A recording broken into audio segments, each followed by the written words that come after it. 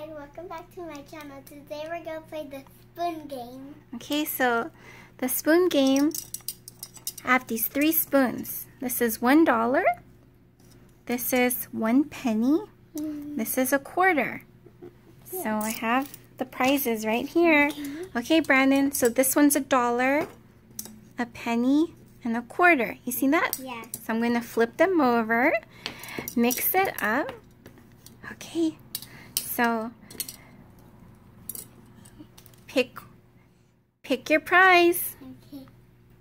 I'm going to go for this one. What do you get? Let One me see. dollar. What? You got the dollar. Yay! Good job. Here's your dollar. Thank you. One, two, three, four. Did you like that game? Yeah. Yeah.